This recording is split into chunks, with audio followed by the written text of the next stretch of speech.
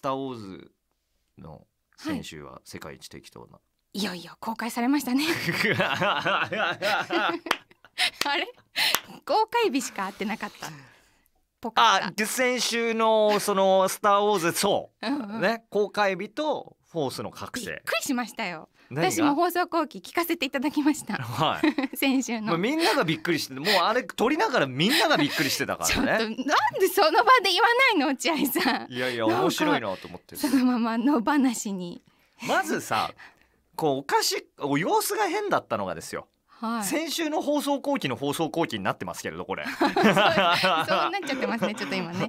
あの先週あのあのさ勉強してきました。はいって映画をはい。言ったじゃないですか。あらすじをね。そう大体見るんですよそういう時って。何を？映画を。あ映画を。そう。だからあらすじを勉強してきたってことっていうのはですよ。はい。あれは勉強になってなかったってことですよね。まあ、そう。いやあのメモもしましたしそのメモが出てこなかったっていうのが問題ですでもあれから見て見たんですよメモ出てきて。はい。まあああんまり大したこと書いてなかったメモに。自分のメモ自体がでしょ、はい。あのサザエさんみたいな人は分かりました？髪の毛。あはい、はいはい。レイヤ姫。おい正解。はい。で上はなかったですね。それは下だけで完全なるサザエさんですか？ら サザエさんのに似ているレイヤ姫がはい。と今日実は兄弟だったってのは？んえ？その話自分でしてたじゃない。実は妹だったっていう人が好きになっちゃって、うん。でも後からあでも妹だったんだって分かったってそうそうそういう。話そ韓流ドラマのようなね。う、え。それはちょっとまだ分かんないままえ、です。だからさ。それでいいの？分かんないままちなみに見るんですか？まあねそろそろ。まあちょっと空いてからかな。本当に？はい。俺さはい。これまたびっくりしたのがですよ。ええ。僕の結構親しい間柄の方ではい。落合健太郎さんっていう お兄ちゃん、まあ 昔 JWAVE でも喋ってたことがあるんですよ。兄様がどうかしましたか、あれ？ね、見たんだって。フォースの覚醒を。おー。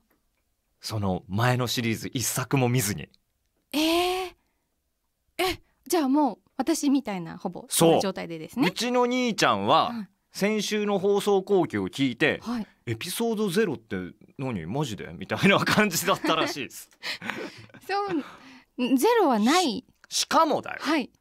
こともあろうに僕はまだ見てないんですよ僕も、はい。ちょっとこう今日明日でちょっと見たいなと思ってんだけどなかなかスケジュールが取れなくて年末だから。そうね。そう。でそんなに好きなのにっていう割には俺そうでもないんだなっていうのも今回分かったの。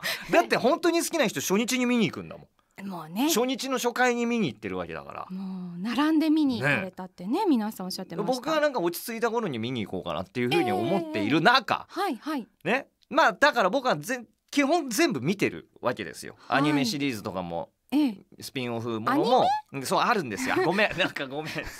あるのはあるのよ。アニメシリーズもああるんるんですすよその間間の話がアニメになってたりとか？するの。でそういうのも見てるの。はいでアニメの映画になってたりとかもするのよ。あそう。日本でも？日本でもある。ええでそういうのも見たりとかしてはい。た中で、全然見ていないうちの兄がお兄ちゃんが？電話をしてきて「あのさなんでさあれあれとあれあれがこうこうこうなってんだよ」とか。落合さんに「はあ?」みたいな。俺マジで絶好しそうになったからね。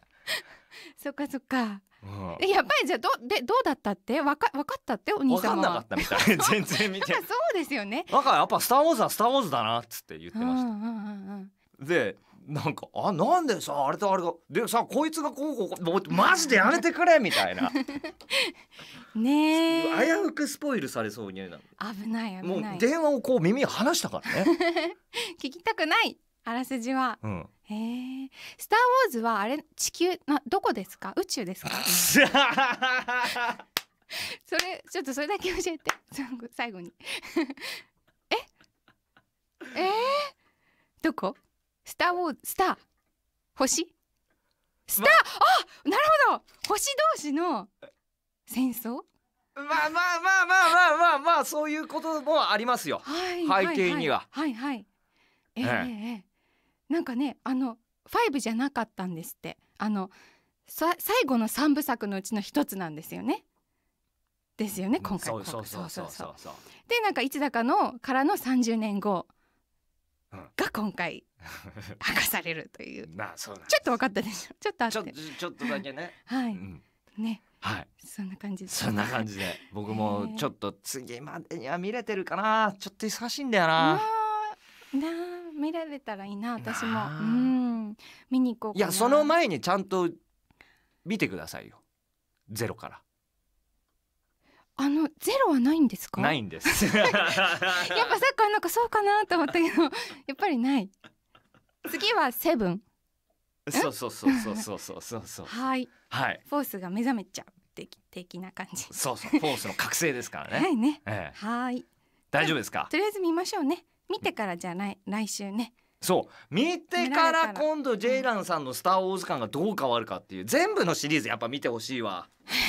ちょめめんどくさい。めんどくさいなよ。でも皆さんあのね気づいたんですけど「はい。スター・ウォーズ」ファンの皆さんって優しい。あのえ見てないの？ってことはこれからもうすべて一から見るその楽しみをじゃらはまだ残ってるってことなんだね羨ましいってこと。そうそうみんな「へえ」とスター・ウォーズ初めて体験がまだあなたには残っているっていう。みんなね同じように言うんですよ。そ日本人も他の国の人たちも、うだからぜひ。みんな好きなんだなと思って本当に、うん、そう。いやはーい。ーまた来週。はい。よろしくお願いいたします。お願いします。おしまい